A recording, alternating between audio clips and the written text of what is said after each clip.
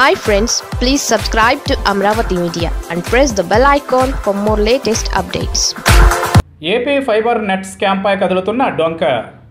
తెలుగుదేశం ప్రభుత్వ హయాంలో చోటు చేసుకున్నట్లుగా అనుమానిస్తోన్న ఏపీ ఫైబర్ నెట్ లిమిటెడ్ అక్రమాలపై డొంక కదిలే పరిస్థితి నెలకొంది. ఈ అక్రమాలపై సిబిఐతో విచారణ జరిపించాలంటూ రాష్ట్ర మంత్రివర్గం తీర్మానించిన కొద్ది రోజుల్లోనే ఈ దిశగా ఓ కీలక అడుగు ముందుకు పడింది.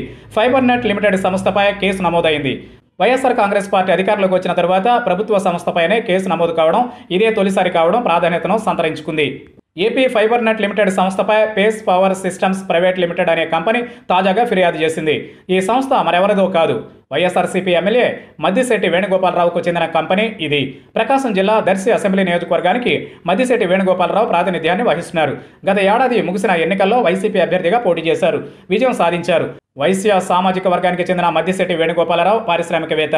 రాష్ట్రంలో తక్కువ ధరకు అత్యధిక స్పీడ్తో ఇంటింటికి ఇంటర్నెట్ కనెక్షన్ను కల్పించడానికి ఉద్దేశించిన ప్రాజెక్ట్ ఫైబర్ నెట్ దీన్ని పర్యవేక్షించడానికి అప్పటి చంద్రబాబు ప్రభుత్వం ప్రత్యేకంగా ఓ సంస్థను ఏర్పాటు చేసింది.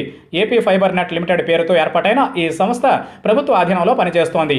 ఇంటింటికి ఇంటర్నెట్ వసతిని కల్పించడానికి అవసరమైన పనులను కాంట్రాక్ట్ సంస్థలకు అప్పగించడం వాటిని పర్యవేక్షించడం ఈ సంస్థ ప్రధాన విధులు. ఇంటింటికి ఇంటర్నెట్ వసతిని కల్పించడానికి అవసరమైన మౌలిక సదుపాయాలను కల్పించడానికి రెండు వేల పదిహేడులో ఏపీ ఫైబర్ నెట్ సంస్థ అధికారులు టెండర్ల ప్రక్రియను నిర్వహించారు. మద్దిశెట్టి వేణుగోపాలరావుకు చెందిన Pace Power Systems Private Limited సంస్థ కూడా బిడ్డింగుల్లో పాల్గొంది. ఈ పనులు ఆ సంస్థకు దక్కలేదు. టెరా సాఫ్ట్వేర్ లిమిటెడ్ ఈ కాంట్రాక్ట్ పనులను దక్కించుకుంది.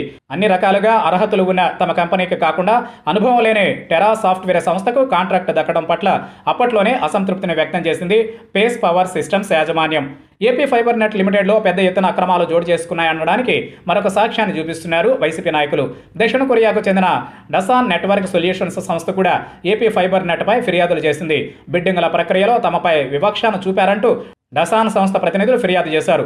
చంద్రబాబు నిర్వహించిన ఆప్టికల్ లైన్ టెర్మినల్ బిడ్డింగ్ల ప్రక్రియలతో పాటు తాము ఎల్ వన్గా నిలిచినప్పటికీ తమను కాదని ఇతరులకు దీని పనులను అప్పగించారంటూ డసాన్ ఫిర్యాదు చేసింది. ఏపీ ఫైబర్ నెట్ లిమిటెడ్లో భారీగా అవినీతి అక్రమాలు చోటు చేసుకున్నట్లుగా జగన్ సర్కార్ అనుమానిస్తోంది.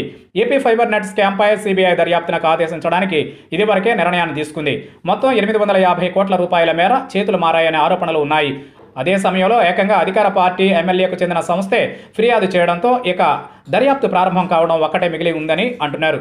ఇదివరకే ఈఎస్ఐ స్కామ్లో మాజీ మంత్రి అచ్చెన్నాయుడు ప్రైవేటు బస్సుల వ్యవహారంలో మాజీ ఎమ్మెల్యే జేసీ ప్రభాకర్ రెడ్డి ఆయన కుమారుడు అస్మిత్ రెడ్డి అరెస్ట్ అయ్యారు. తాజాగా ఏపీ ఫైబర్ నెట్ వ్యవహారంలో ఇంకెవరు అరెస్ట్ అవుతారనేది చర్చనీయాంశమవుతోంది. ఈ పరిణామాలు తెలుగుదేశం పార్టీని ఆందోళనకు గురిచేస్తున్నాయి.